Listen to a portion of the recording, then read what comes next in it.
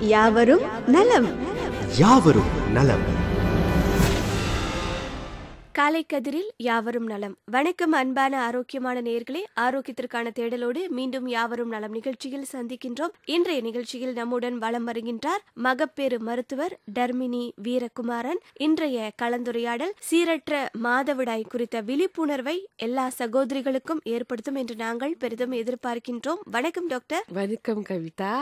சரிங்க டாக்டர். சீரற்ற மாதவிடாய் குறித்து நாம பேச போகின்றோம். அதற்கு முன்பாக சீரான மாதவிடாய் என்பது எப்படி இருக்க வேண்டும். சீரான பீரியட் ஒரு பெண்ணுக்கு இருக்குதுன்னா இருபத்தி ஒரு நாள்ல இருந்து இருபத்தி அஞ்சு நாள் சைக்கிள் ஒரு மாசத்துல அது இருக்கும். அதுதான் சீரான மாதவிடை சரி அப்படி இருக்கும்போது இன்றைய காலகட்டத்தில் சீரற்ற மாதவிடாய் அதிகமா பேசப்படுகின்றது. சீரற்ற மாதவிடாய்னா அது எப்படி இருக்கும் டாக்டர்? சீரற்ற மாதவிடைன்னா அது வந்து irregular பீரியட் ஸோ ஒரு பெண்ணுக்கு வந்து பீரியட் ஒரு மாசத்துக்கு தொடர்ந்து போறதுக்கு வாய்ப்பு இருக்கு. சில நேரத்துல அவங்களுக்கு ரெண்டு மூணு மாசத்துக்கு பீரியட் வராம அப்புறம் பீரியட் தொடர்ந்து வந்துகிட்டு இருக்கும். சில பேருக்கு பீரியட் வந்து ரெகுலரா ஒரு ஏழு நாளைக்கு வந்துட்டு அப்புறம் ரெண்டு வாரம் கழிச்சு திருப்பி அந்த பீரியட் வர்றதுக்கு வாய்ப்பு இருக்கு. சரிங்க டாக்டர் எதனால் வந்து இந்த மாதவிடாய் சுழற்சி வந்து சீரற்று போகின்றது? மெயின் காரணம் வந்து ஹோமோன் இம்பேலன்ஸ் ஸோ இந்த ஹோமோன் இம்பேலன்ஸ் வந்து சில நேரத்தில் தானாலேயே அது வரலாம் சில நேரத்தில் ஸ்ட்ரெஸ் இன்டியூஸ் ஹோமோனல் இம்பேலன்ஸ் அந்த மாதிரி வரலாம். சில நேரத்தில் வேற ஜெனட்டிக் ப்ராப்ளம் வேற மல்டி ஆர்கன் ப்ராப்ளம் இனிப்பு நீர் இருக்கிறவங்க ஹை பிளட் ப்ரெஷர் இருக்கிறவங்க தைராய்ட் ப்ராப்ளம் இருக்கிறவங்க அந்த வியாதியோட சேர்ந்து இந்த பீரியட் இரெகுலரிட்டி ஆகிறதுக்கு வாய்ப்பு இருக்குது சரி இவ்வளவு காரணம் வந்து மாதவிடாய் சீரற்று போவதற்கு காரணமா இருக்கு அப்படின்னு சொன்னீங்க. அதுல குறிப்பா இந்த மரபணு இந்த ஜெனட்டிக் வந்து மாதவிடாய் சீரற்ற நிலைக்கு போவதற்கு காரணமா இருக்கு சொன்னீங்க இல்லையா? அது குறித்து மேலும் விரிவா சொல்லுங்க டாக்டர் சில நேரத்துல ஜெனட்டிக் ப்ராப்ளம் வந்து ஒரு மெயின் ப்ராப்ளமா இருக்கலாம். ஏன்னா அவங்க தாயாருக்கும் அந்த ஜெனட்டிக் ப்ராப்ளம் இருக்கலாம். அது வந்து ரிலேட்டட் டு ஆர்கன் ஃபங்க்ஷன் எப்படின்னா இப்ப நம்ம வந்து கிட்னி பலமா இல்ல நம்ம தைராய்டு ஹோமோன் கூட இருக்கிறதும் தப்பு தைராய்டு ப்ராப்ளம் குறைவா இருக்கிறதும் தப்பு. ஸோ இந்த ஜெனட்டிக் ப்ராப்ளம் வந்து இந்த thyroid organ thyroid gland function பாதிச்சு இந்த ஹோமோன்ஸை வந்து இர்ரெகுலர் ஆக்கிறோம் சில பேர் வந்து அவங்க பிறப்பிலேயே அவங்க மூளை வளர்ச்சி குறைவா இருக்கும். அவங்களுக்கு அந்த டவுன் சிண்ட்ரம் டேர்னர் சிண்ட்ரம் இந்த மாதிரி அவங்க பிறப்பிலேயே அவங்க மூளை வளர்ச்சி குறைவா இருக்கிறதுனால அந்த ஹோமோன்ஸ் ஓவரிக்கு போறது பாதிச்சு இந்த பீரியட் வந்து இரெகுலர் ஆகிறதுக்கு வாய்ப்பு இருக்கு. முட்டை பையில வந்து இந்த மாதிரி சிஸ்ட் நம்ம கூப்பிடுவோம். அந்த முட்டை பையில சிஸ்ட் இருந்துச்சுன்னா அந்த பீரியட் வந்து இரெகுலராக இருக்கும். பீரியட் இரெகுலராக இருக்கிற காரணம் அந்த சிஸ்ட் ஸோ அந்த பீரியட் இர்ரெகுலரா இருக்கிற சமயத்துல சிஸ்ட் உருவாகிறதுக்கு வாய்ப்பு இருக்கு. ஸோ பொதுவா பெண்களுக்கு வருஷத்துக்கு ஒரு வாட்டி அவங்க போய் கைனி செக்அப் பண்ணா இந்த சிஸ்ட் இருக்குதா இல்லையான்னு அவங்களுக்கு தெரிய வரும். ஸோ முன் கட்டத்திலேயே நம்மளுக்கு அந்த சிஸ்ட் இருக்குன்னு தெரிஞ்சிட்டோம்னா நம்ம கரெக்டா ரொம்ப காம்ப்ளிகேட்டட் வைத்தியம் பார்க்காம ஹோமோன் மருந்து சாப்பிட்டு இந்த சிஸ்ட் நம்ம கரைச்சிடலாம். ஆனா இந்த சிஸ்ட் நம்ம அப்படியே விட்டுட்டோம்னா இந்த சிஸ்ட் வளர்ந்து வளர்ந்து பெரிய முட்டையாவிட்டு ஒரு five centimetre six centimetres ten twenty centimetres கூட ஆகலாம் டைமீட்டர் ஸோ அந்த மாதிரி ரொம்ப பெரிய கட்டி ஆயிடுச்சுன்னா அந்த சிஸ்ட் வந்து அந்த முட்டை பையே பிறண்டு போய் வெடிச்சு பெரிய பிரச்சனை ஆகி உயிருக்கே ஆபத்து ஆகுறதுக்கு வாய்ப்பு இருக்கு. ஸோ அதனால பொதுவா நம்ம பார்த்தோம்னா நிறைய பேர் இர்ரெகுலர் பீரியட் வந்து ஒரு சாதாரண விஷயம். மாசம் மாசம் இந்த மாதிரி நம்ம பேஷண்ட் கிட்ட கேட்டா ஒரு வருஷமா அந்த மாதிரி இருந்துச்சு. ஆறு மாசமா இருந்துச்சு. எங்க அம்மா கிட்ட கேட்டோம் நம்ம இந்த மூலிகையை சாப்பிட்டோம் நம்ம அந்த மூலிகையை சாப்பிட்டோம். அப்படி சொல்லி அவங்க சொந்தமா ஏதாச்சும் வீட்டுல இருக்கிற வைத்தியத்தை பார்த்து அப்படி இருந்துட்டாங்க. ஸோ அவங்க வந்து செக்அப் வந்து பண்றது தான் முக்கியம். சரிங்க டாக்டர். மாதவிடாய் வந்து நமக்கு சரியா போகல ஒவ்வொரு மாதமும் அப்படின்னோடனே எவ்வளவு நாளுக்குள்ள வந்து காத்திருக்காம உடனே மருத்துவரை பார்த்துடணும்? பொதுவா ஒரு ரெண்டு மாசம். ஸோ சில நேரத்துல இந்த ஸ்ட்ரெஸ் இன்டியூஸ் பீரியட் இரெகுலரிட்டின்னு நம்ம சொல்லுவோம். ஸோ அது வந்து ஒரு மாசத்துல வந்து அது சரியாகும். ஸோ சில நேரத்துல சில பெண்களுக்கு ஸ்கிப்ட் சைக்கிள் இருக்கும். ஸோ அவங்க ரொம்ப அதிர்ச்சி ஆயிட்டாங்கன்னா அந்த முட்டை வந்து பெருசாகிற நேரத்தில் அவங்களுக்கு ரொம்ப சீக் ஆயிட்டாங்கன்னா ஒரு மாதம் பீரியட் வராமல் தள்ளி போகிறதுக்கு வாய்ப்பு இருக்கு. ம். ஸோ ரெண்டு மாதம் தொடர்ந்து தொடர்ந்து அவங்க அந்த மாதிரி இருந்துச்சுன்னா கண்டிப்பாக அவங்க வந்து டாக்டரை பார்த்து கரெக்டான வைத்தியத்தை அவங்க எடுக்கணும். சரி நீங்க சொல்றீங்க இரண்டு மாதம் காத்துருங்க மாதவிடாய் சீரற்ற நிலையில இருக்கு அடுத்த மாதம் வந்து மருத்துவரை பார்க்கணும் அப்படின்னு நீங்க சொல்லிக்கிட்டு இருக்கீங்க. வெளியே நிறைய பெண்களோடு பேசும்போது எனக்கு ஆறு மாதமா மாதவிடாய் வரல ஒரு வருஷமா வரல அது எல்லாருக்கும் இருக்கிறது தானே அப்படின்னு ரொம்ப சாதாரணமா சொல்லிக்கிட்டு போறக்கூடிய பெண்கள் இன்றைய இருபத்தோராம் நூற்றாண்டிலும் இருக்காங்க. அவங்களுக்கு இந்த நேரத்துல நீங்க என்ன சொல்ல போறீங்க டாக்டர்? ஸோ பொதுவாக ஒரு பெண்ணுக்கு வந்து பீரியட் வந்த நாள்ல இருந்து வந்த மாசத்துல இருந்து அவங்க வருஷத்துக்கு ஒரு வாட்டி வந்து கைனி செக்அப் பண்றது நல்லது. எதுக்காக அப்படி ஸோ சொல்றீங்க அப்போ நம்ம வந்து ஸ்கேன் பண்ணி பார்க்கலாம் கர்ப்பப்பை எப்படி இருக்கு முட்டைப்பை எப்படி இருக்குன்னு. ஸோ அவங்க வந்து கல்யாணம் கட்டின பிறகு அவங்க வந்து பெப்ஸ்மியர் வந்து செய்கிறது நல்லது. ஏன்னா இப்போ நம்ம பார்த்தோம்னா நம்ம வந்து ஸ்டட்டிஸ்டிக்ஸ் எடுத்து பார்த்தோம்னா பெண்களுக்கு வந்து number one cause of death வந்து கேன்சர் ஆமா. அந்த கேன்சர்ல வந்து breast cancer is number one ஒரு அஞ்சு வருஷத்துக்கு முன்னும் நம்பர் டூ வந்து cervical கேன்சர் ஸோ now நம்ம வந்து வருஷம் வருஷம் நம்ம வந்து கேம்பெயின் பண்ணி நம்ம விமன்ஸ் ஹெல்த் முன்னேறணும். நம்ம வந்து தாயாரை வந்து நம்ம பாதுகாக்கணும். ஒரு குடும்பத்துல வந்து தாயார் வந்து முக்கியம். ஸோ நம்ம தாயாரை நம்ம பார்த்துக்கிட்டோம்னா அந்த குடும்பம் வந்து பலமா இருக்கும். ஸோ அதனால நம்ம விமன்ஸ் ஹெல்த் வந்து நம்ம ரொம்ப முக்கியம் கொடுக்குறோம் இப்போ. So that's why we encourage ladies வருஷம் வருஷம் வந்து பெப்ஸ்மியர் பண்ணிட்டு பெப்ஸ்மியர் பண்ணி கைனி ஸ்கேன் பண்றது இஸ் பெட்டர் ஸோ நம்ம வந்து முட்டைப்பை கர்ப்பப்பை வீங்கி இருந்துச்சுன்னா கர்ப்பப்பையில் வந்து உதரக்கட்டி இருக்கிறது வாய்ப்பு இருக்குது கர்ப்பப்பையில் வந்து உதரக்கட்டினா அது வந்து ஃபைப்ராய்டு நம்ம சொல்லுவோம். ஸோ அந்த ஃபைப்ராய்டு கட்டியும் அந்த பீரியட் ரொம்ப போறதுக்கு ஒரு காரணமா இருக்கலாம். ஸோ அந்த ஃபைப்ராய்டு கட்டி நம்ம முன்கிட்டத்திலே பார்த்துட்டோம்னா மேபி அந்த ஃபைப்ராய்டு கட்டியை மட்டும் நம்ம எடுத்துடலாம் ஆப்ரேஷன் பண்ணி. நம்ம விட்டுட்டோம்னா ரொம்ப நாள் செஞ்சு அந்த ஃபைப்ராய்டு கட்டி வந்து பெருசாகிட்டா நம்ம கர்ப்பப்பையே எடுத்துடணும். ஸோ இப்போ நம்ம வந்து கைனி டாக்டர் எல்லாம் நம்ம என்ன பிளான் பண்றோம்னா முடிஞ்ச அளவுக்கு பெரிய பெரிய ஆப்ரேஷன் பண்ணாம பெண்களுக்கு வந்து கர்ப்பப்பையை வந்து நம்ம பாதுகாக்கிறோம். ஸோ நம்ம வந்து முன்கிட்டத்துல வைத்தியம் பார்த்துட்டோம்னா அந்த கர்ப்பப்பை எடுக்கிற நிலைமை வராமல் அவங்க சொந்தமாக மெனப்பாஸ் ஆகுறதுக்கு ஒரு வாய்ப்பு இருக்குது சரிங்க டாக்டர். மாதவிடாய் சீரற்ற நிலையில் இருக்கும்போது உடனே மருத்துவரை பார்க்கும்போது நீங்க சொன்ன இந்த சிக்கல்கள் நமக்கு ஏற்படாமல் இருப்பதை நாம் தவிர்த்து விடலாம். கர்ப்பப்பை எடுப்பது அப்படின்னு சொன்னீங்க சிக்கல் அதிகமாயிருச்சா? இளம் பெண்கள் திருமணம் ஆகாத பெண்கள் சீரற்ற மாதவிடாய் காரணமாக அலட்சியமாக இருந்ததன் காரணமாக கர்ப்பப்பை எடுக்கக்கூடிய நிலைமை இளம் பெண்களுக்கு ஏற்பட்டிருக்கா? எஸ் ஏற்பட்டிருக்கு. ஸோ அதனால தான் நம்ம வந்து அந்த ஃப்ரீக்வெண்ட் செக்அப் ஸோ ரெண்டு மாசத்துக்கு பீரியட் சரியா வரலன்னா மூணாவது மாசம் கண்டிப்பா போய் கைனி செக்அப் பண்ணி நம்ம எதனால அந்த பிரச்சனை வந்திருக்குன்னு நம்ம முன்கூட்டத்திலே நம்ம பார்த்துடலாம். ஏன்னா இந்த irregular மென்சஸ் வந்து வேற பிரச்சனைக்கும் போய் முடியலாம். ஆமா. இப்போ நம்ம எனிமியா ஆகி உடம்புல ரத்தம் பத்தாம போய் நம்ம இதயத்தை பாதிக்கலாம். அப்புறம் நம்ம சில பேருக்கு இந்த ஹோமோன் சரியா ஆறு மாசம் ஒரு வருஷம் அவங்களுக்கு பீரியட் சரியா வராம அவங்க ஒன்றும் பண்ணாம அவங்க வெயிட் போட்டு நூறு கிலோ ஆகுறதுக்கு வாய்ப்பு இருக்கு. ஸோ நம்ம வந்து இந்த முத கட்டத்திலே நம்ம அதை பார்த்துட்டோம்னா சரி பண்ணிட்டா? சரி பண்ணிட்டா அந்த ஃபர்தர் காம்ப்ளிகேஷன்ஸ் நம்ம அவாய்ட் பண்ணலாம். சரிங்க டாக்டர் ரொம்ப அழகா விளக்கங்களை சொல்லி கொண்டிருக்கீங்க. நிகழ்ச்சி கேட்டுக்கொண்டிருக்கும் பெண்களுக்கு காதோரம் போய் ஒளித்திருக்கும் அப்படின்னு நாங்கள் பெரிதும் எதிர்பார்க்கின்றோம். சீரற்ற மாதவிடாய் அப்படின்னு சொல்லும்போது நீங்க ஹார்மோன் சிகிச்சை பற்றி சற்று முன்பு பேசும்போது சொல்லியிருந்தீங்க. இந்த ஹார்மோன் சிகிச்சை குறித்து சொல்லுங்க டாக்டர் மொதல் ட்ரீட்மெண்ட் வந்து நம்ம வந்து அந்த ஹோமோன்ஸை வந்து சைக்ளிக்கல் ஹோமோன்ஸ் ட்ரீட்மெண்ட் நம்ம கொடுப்போம். ஸோ நம்ம மொத கட்டத்திலே அவங்க வந்துட்டாங்கன்னா நம்ம வந்து simple hormones with minimum side effects நம்ம இந்த மருந்து கொடுத்து ஒரு மாசம் ரெண்டு மாசத்தை அதை சரி பண்ணிடலாம். அப்படி அவங்களுக்கு வந்து வயசு பார்த்து நம்ம வைத்தியம் பார்க்கணும்.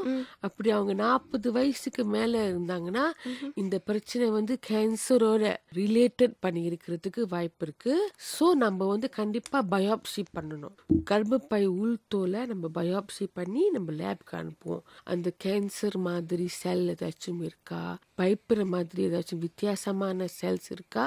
அந்த மாதிரி செல்ஸ் இருந்துச்சுன்னா நம்ம வந்து ஹிஸ்ட்ரோஸ்கோப் அந்த மாதிரி பண்ணி நம்ம அந்த உள்தோலை வந்து நம்ம சுரண்டி எடுத்துடலாம். ஆனால் அதுக்கு மேலே பிரச்சனை கொஞ்சம் முத்தி போச்சுன்னா நம்ம கர்ப்பப்பை எடுத்து பேஷண்டோட லைஃப்பை சேவ் பண்ணுறது தான் நம்மளுக்கு அல்டிமேட் சாய்ஸ் சரி நீங்கள் சொன்ன இந்த தகவலும் இணையர்களுக்கு போய் சேர்ந்திருக்கும் என்று நாங்கள் எதிர்பார்க்கின்றோம். யாவரும் நலம் நிகழ்ச்சியில் சீரற்ற மாதவிடாய் குறித்து பேச போறோம் அப்படின்னு ஃபேஸ்புக்கில் பதிவு செய்திருந்த போது சில கேள்விகள் நமக்கு வந்திருந்தன. அந்த கேள்விகளை நாங்க கேட்கிறோம். நீங்க பதில் சொல்லுங்க டாக்டர். ரவீந்திரன் இவர் பதிவு செய்த கேள்வி ஐம்பது வயதுக்கு பிறகு மெனோபாஸ் ஏற்படும் என்பது பொதுவான ஒன்று.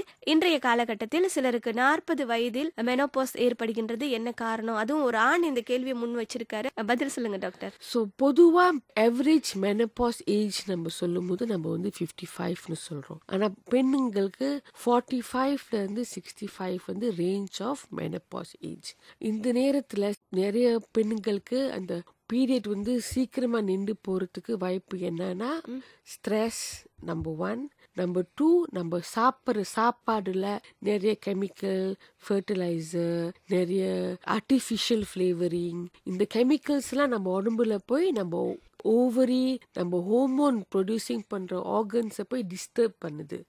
ஸோ அதனால அந்த ஹோமோன்ஸ் வந்து பேலன்ஸ் இல்லாம அது வந்து ஓஞ்சி போகுது. Obesity is a cause of hormonal imbalance hormonal imbalance வந்து ஒபேசிட்டி காஸ் பண்ணும். ஒபேசிட்டி இருக்கும்போது அவங்க தோலுக்கு கீழே நிறைய கொழுப்பு இருக்கிறதுனால அவங்க ஆர்கன்ஸை சுத்தி நிறைய கொழுப்பு இருக்கிறதுனால அந்த ஆர்கன்ஸ் வந்து சரியா அவங்க ஃபங்க்ஷனை பண்ண முடியாம மெனப்பாஸ் ஆயிருது நிறைய பெண்களுக்கு இப்ப. அதுக்கெல்லாம் நாம தான் காரணமா இருக்கோமா? ஆமா. லெஸ் ஆஃப் எக்ஸசைஸ் எக்ஸசைஸ் பண்ணோம்னா நம்ம மசில்ஸ் எல்லாம் நல்லா ஸ்ட்ராங்கா இருக்கும். நம்ம ரத்த ஓட்டம்லாம் நல்லா இருக்கும். ஸோ ரத்த ஓட்டம் to the ovaries to the brain அதெல்லாம் நல்லா இருந்துச்சுன்னா அந்த ஹோமோன்ஸும் நல்லா இருக்கும். சரிங்க டாக்டர் ரொம்ப அழகா பதில் சொல்லியிருந்தீங்க. பலருக்கும் அது புரிஞ்சிருக்கும் அப்படின்னு நாங்க எதிர்பார்க்கின்றோம். அடுத்து எட்ரியானா வெங்கடாசலம். இவர் பதிவு செய்திருக்கும் கேள்வி வந்து மரபணு இந்த ஜெனட்டிக் காரணமாக சீரற்ற மாதவிடாய் ஏற்படுகின்றதே இதற்கு தீர்வு இருக்கா டாக்டர் சிகிச்சை இருக்கா அப்படின்னு கேட்டிருக்காங்க. ஸோ ஜெனட்டிக் ப்ராப்ளம் வந்து நம்மளுக்கு கியூர் இல்லை. நம்ம வந்து என்ன பண்ணலாம்னா நம்ம வந்து கண்ட்ரோல் பண்ணலாம். ஸோ அதனால ஜெனட்டிக் ப்ராப்ளம் இருக்கிறவங்களுக்கு வந்து இந்த பீரியட் இரெகுலரிட்டி வந்து சின்ன வயசுலேயே இருந்தே வரும். சில பெண்களுக்கு வந்து பீரியட் வந்து டிலேடா வரும். ஸோ நம்ம பதினேழு வயசு ஆயிட்டா அவங்களுக்கு பீரியட் இன்னும் வராம இருந்துச்சுன்னா அவங்க வயசுக்கு இன்னும் வராம இருந்தாங்கன்னா ஹாஸ்பிட்டலுக்கு எடுத்துட்டு வந்து நம்ம செக் பண்ணணும். ஸோ நம்ம செக் பண்ணும்போது நம்மளுக்கு என்ன பிரச்சனைன்னு நம்ம ஆராய்ச்சி பண்ணி நம்ம முடிவு பண்ணலாம். ஸோ இந்த ஜெனட்டிக் ப்ராப்ளம் இருக்கிறவங்க சில நேரத்தில் இந்த டவுன் சின்ட்ரம் டர்னர் சின்ட்ரம் இவங்களுக்கு வந்து டிலேட் பிரைமரி அம்யூனூரியா நம்ம சொல்லுவோம். அப்படின்னா அவங்களுக்கு வந்து பீரியட் வந்து பதினேழு பதினெட்டு வயசுல கூட பீரியட் வரல. அந்த மாதிரி இருக்கிறவங்களுக்கு வந்து நம்ம ஸ்கேன் பண்ணி நம்ம எம்ஆர்ஐ ஸ்கேன் பண்ணி அவங்களுக்கு கர்ப்பப்பை மொத இருக்கா இல்லையான்னு நம்ம பார்க்கணும். முட்டைப்பை இருக்கா இல்லையா நம்ம பார்க்கணும். அப்புறம் நம்ம அந்த ஹோமோன் பிளட் டெஸ்ட் எல்லாம் ஹோமோன் பண்ணி எந்த ஹோமோன் வந்து குறைவா இருக்கோ அந்த ஹோமோன்ஸ் வந்து நம்ம சப்ளிமெண்ட் கொடுத்தோம்னா அவங்களுக்கு வந்து அந்த செகண்டரி செக்ஷுவல் கேரக்டர்ஸ் அவங்களுக்கு அந்த பீரியட் வந்து ரெகுலரா வர்றதுக்கு வாய்ப்பு இருக்கு. சில பேருக்கு வந்து ஜஸ்ட் கொஞ்சம் ஜம் ஸ்டார்ட் பண்ணிடலாம். ஜம் ஸ்டார்ட் நம்ம ஒரு ஃபியூ மந்த்ஸ்க்கு நம்ம மருந்து கொடுத்துட்டு அது தானாலேயே பீரியட் வர்றதுக்கு வாய்ப்பு இருக்கு. சில பேருக்கு வந்து அந்த ஜெனட்டிக் ப்ராப்ளம் ரொம்ப இன்டென்ஸா இருந்துச்சுன்னா அவங்களுக்கு பீரியட் வரவே வராது.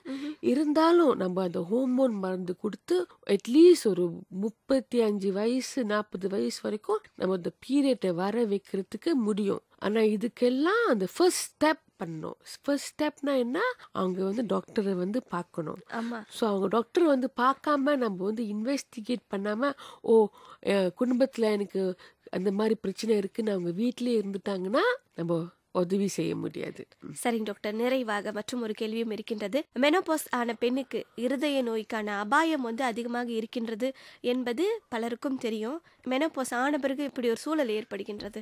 ஏன்னா மெனப்பாஸ் ஆன பிறகு அவங்களுக்கு அந்த ஹோமோன்ஸ் வந்து குறைஞ்சிருச்சு. பொதுவா ஈஸ்ட்ரோஜன் ஒரு ஹோமோன் இருக்கு. இந்த ஈஸ்ட்ரோஜன் ஹோமோன் தான் நம்ம பெண்களை பாதுகாக்குது. அவங்க அழக பாதுகாக்குது அவங்கள தோலை பாதுகாக்குது அவங்களோட இதயத்தை பாதுகாக்குது அவங்களோட ஜாயின்ஸ் போன்ஸ் எல்லாத்தையும் பாதுகாக்குது. ஸோ நாம வந்து ஒரு அழகான பெண்ணா இருக்கிறோம்னா நம்மளுக்கு அந்த ஈஸ்ட்ரோஜனை தான் நம்ம நன்றி சொல்லணும். ஸோ நாற்பது வயசு நாற்பத்தஞ்சு வயசு ஆகும்போது அந்த ஈஸ்ட்ரோஜன் லெவல் வந்து குறைஞ்சிக்கிட்டு வருது. ஐம்பது ஐம்பத்தஞ்சு வயசுக்கு வரும்போது அவங்க ஈஸ்ட்ரோஜன் வந்து ஆல்மோஸ்ட் மினிமல்ல நிக்குது. ஸோ அந்த நேரத்துல இதய பாதுகாப்பு குறைஞ்சிக்கிட்டு வருது. ஸோ நம்ம எப்போதுமே சாப்பிட்ற சாப்பாடு நம்ம தொடர்ந்து சாப்பிட்டுக்கிட்டு இருந்தோம்னா நம்ம இதயத்துக்கு அது ஏற்றுக்க முடியாது. ஸோ பொதுவாக நீங்கள் வந்து பார்த்தீங்கன்னா ஆம்பளைங்களுக்கு வந்து வயசு முப்பதுலேயே அவங்களுக்கு இதயத்துல மாரடைப்பு வரத்துக்கு வாய்ப்பு இருக்கு. ஆனா பெண்களுக்கு வந்து அந்த மெனப்பாஸ் பண்ண பிறகு அவங்களுக்கு நிறைய பிரச்சனை வரும். ஆக்சுவலி அவங்க மாரடைப்பு இதே பிரச்சனை மட்டும் இல்ல. அவங்களுக்கு மத்த பிரச்சனையும் இனிப்பு நீர் ரத்த கொதிப்பு கிட்னி ப்ராப்ளம் எலும்பு பலவீனம்? எலும்பு பலவது குறைவு எல்லாமே மெனப்பாஸ்க்கு பிறகு தான் அந்த பிரச்சனையை தூங்கும். சரி ரொம்ப அழகா வந்து இன்றைக்கு சீரற்ற மாதவிடாய் அது தொடர்பான நிறைய விஷயங்களை சொல்லியிருந்தீங்க. நேர்களோட கேள்விக்கு ரொம்ப அழகா பதில் சொல்லியிருந்தீங்க. நிறைவாக இப்போது வானொலி கேட்டுக்கொண்டிருக்கும். எல்லாருக்கும் என்ன சொல்ல போறீங்க? ஸோ எல்லாருக்கும் நான் என்ன சொல்றேன்னா பெண்கள் வந்து குடும்பத்துல வந்து த ஹார்ட் ஆஃப் த ஃபேமிலின்னு நம்ம சொல்லுவோம். The father is the head of the family so ஒரு பெண் வந்து அவங்க வந்து உடம்பு நல்லா இருந்து ஹெல்த்தியா இருந்தாங்கன்னா குடும்பம் வந்து நல்லா வளர்ச்சி ஆகும் பெண்கள் பொதுவா அவங்க வீட்டுக்காரருக்கு சீக்கியா இருந்துச்சுன்னா அவங்க இம்மீடியட்டா டாக்டருக்கு எடுத்துட்டு போயிடுவாங்க பிள்ளைங்க கொஞ்சம் சளி இருமலா இருந்தா இம்மீடியட்டா கிளினிக் எடுத்துட்டு போயிடுவாங்க ஆனா அவங்க சீக்கா இருந்தா அவங்க வந்து கொஞ்சம் தயங்குவாங்க. முன்னுக்கு வரதுக்கு ஓ டாக்டர் என்ன சொல்லுவாரு? ஊசி போடுவாரா? டாக்டர் வார்ட்ல தங்க வச்சிருவாங்களா? அதனால அவங்க குடும்பத்தை நினைச்சுக்கிட்டு அவங்க அவ்வளவு சீக்கிரமா வந்து டாக்டர் பார்க்க மாட்டாங்க. சோ இப்ப நம்ம என்ன சொல்றோம்னா விமன்ஸ் ஹெல்த் இஸ் இம்பார்ட்டன்ட் வருஷத்துக்கு ஒரு வாட்டி எங்கே வேணாலும் போய் செக்அப் பண்ணிக்கலாம். அவங்க ஹெல்த்தை வந்து அவங்க முக்கியமாக பார்த்துக்கணும் ஒரு கணவரா அவங்க ஒய்ஃப் எப்படி இருக்காங்க? பீரியட்ஸ் ரெகுலராக இருக்கா? அவங்க கண்டிப்பாக அவங்க அக்கறை எடுக்கணும். ஃபாதரா அவங்க பிள்ளைங்களுக்கு பீரியட்லாம் எப்படி போகுது நல்லா போகுதா அவங்க வந்து சாப்பிட்ற சாப்பாடு சத்து உள்ள சாப்பாடை சாப்பிட்றாங்களா? அந்த இரும்பு சத்து இருக்கிற சாப்பாடு பச்சைக்கீரை காய்கறி அதெல்லாம் நிறைய சாப்பிட்றாங்களான்னு அவங்க கண்டிப்பா அவங்க பார்க்கணும். ஏன்னா ஃபாதர் வந்து ஹெட் ஆஃப் த ஃபேமிலி இப்போ நம்ம வந்து ஹஸ்பண்ட் ஃப்ரெண்ட்லின்னு ஹாஸ்பிட்டல்ல திறந்துருக்குறோம். இப்போ நம்ம வந்து ஹஸ்பண்ட் அண்ட் ஃபாதர் வந்து இன்வால்வ் பண்ணணும். நம்ம விமன்ஸ் லைஃப்ல ஆண்கள் வந்து பெண்களோட ஹெல்த் பத்தி இன்னும் கூட அக்கறை எடுக்கணும்னு நான் எதிர்பார்க்கிறேன். நன்றி வணக்கம். இதுவரை யாவரும் நலம் நிகழ்ச்சியில் நம்முடன் பலம் வந்தவர் மகப்பெரு மருத்துவர் டர்மினி வீரகுமாரன். இன்றைய நிகழ்ச்சியில் சீரற்ற மாதவிடாய் அது தொடர்பான நிறைய தகவல்களை மருத்துவர் நம்முடன் பகிர்ந்து கொண்டார். எங்களின் நிகழ்ச்சியை கேட்ட அன்புக்குரிய நேர்களை நீங்கள் கேட்ட தகவல்களை மறக்காமல் உங்கள் சகோதரிக்கு உங்கள் மனைவிக்கு உங்கள் தங்கைக்கு உங்க அக்காவுக்கு மறக்காமல் சேர்ப்பித்து விடுங்கள். எப்போதும் சொல்வது ஒன்றே ஒன்றுதான். நமக்குள் நடக்கும் பல சிக்கல்களுக்கு பல சமயங்களில் நாம் தான் காரணமாக இருக்கின்றோம். அன்புடன் விடைபெறுகிறேன் கவிதா கன்னியப்பன். யாவரும் நலம். யாவரும் நலம். யாவரும் நலம்.